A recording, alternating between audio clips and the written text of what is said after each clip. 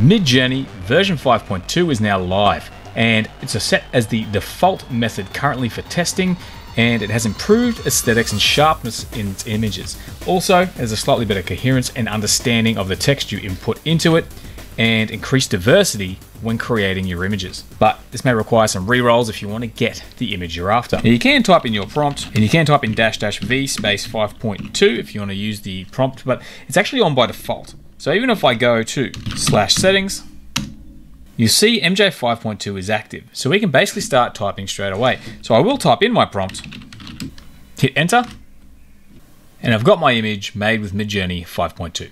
One thing it also has now is a high variance mode, which means turned on by default, it creates more varied images when you're actually creating your images in Midjourney. And the way it works is after I've upscaled my image, you'll see here we've got very strong or very subtle. This means you can create variations of the image and it will make subtle changes or strong changes. So I'll try strong. I'm going to say neon lights.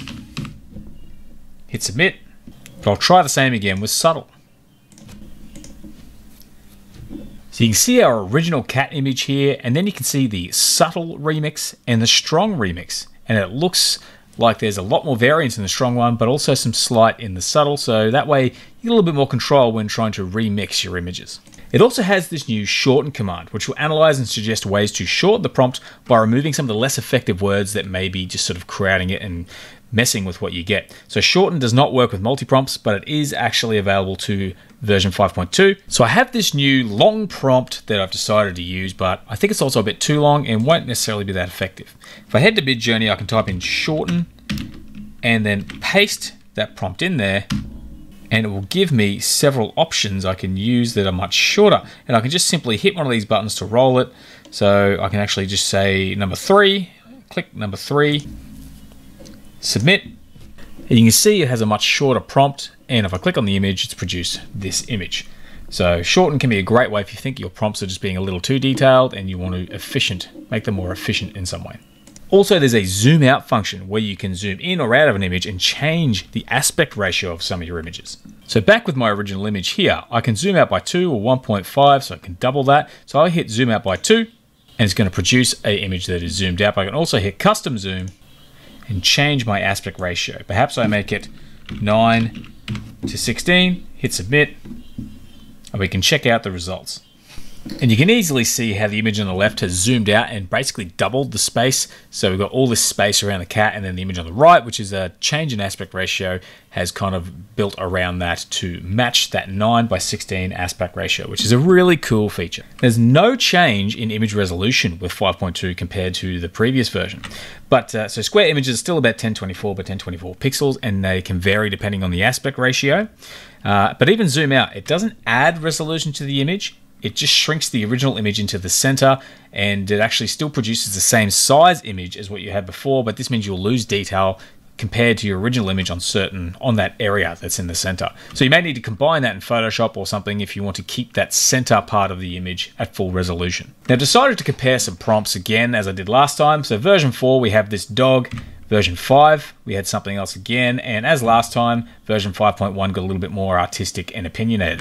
Version 5.2 has a bit of a different look again. We've got more ink dripping, we've got a photo realism sort of dog in the top left. There's a lot more variety in these images, and again, they are definitely sharper, as mentioned previously. But I wanted to add more detail to the prompt as well, because dog is very basic.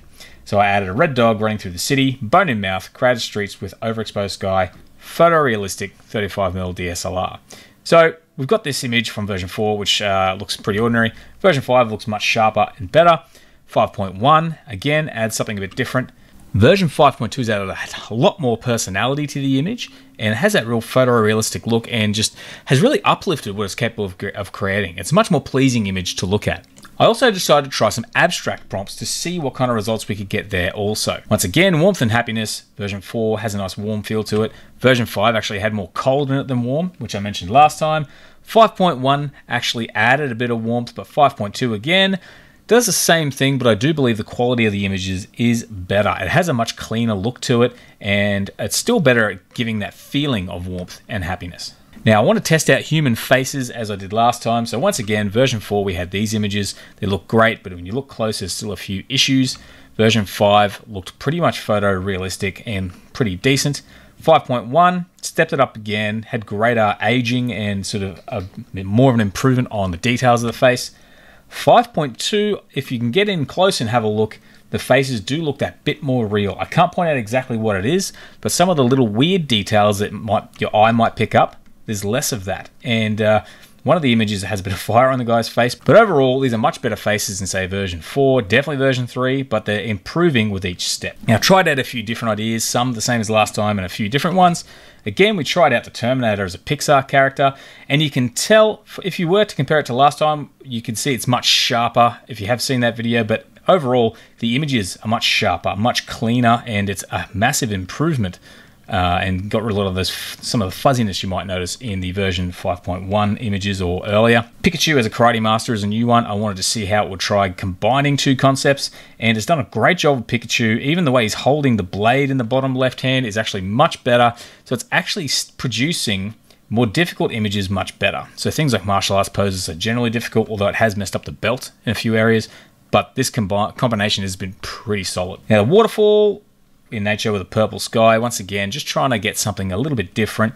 This looks absolutely beautiful, like a work of art. I think it's done a great job, even though the top right one has a weird kind of waterfall, which is kind of the sky in the waterfall, but it's uh, overall it's really good, and um, there's definitely some variety in the layouts of these images, which is pretty cool. I also tried abstract VHS glitch art, and I've done a lot of this in the past, and going to say that this is a really cool effect, great for abstract sort of uh, use or overlays, and this looks really good, and although it's not something that's really necessarily improved, I do like what it's done with this more than previous versions when I've used the same prompt. But that is version 5.2 out now for testing on Midjourney, so check it out, log in, give it a go, see what results you get, have some fun, and uh, that's the video for today. Thanks for watching. I hope you like it. Give the video a like if you did. Otherwise, I hope to see you again next time. Have a great day.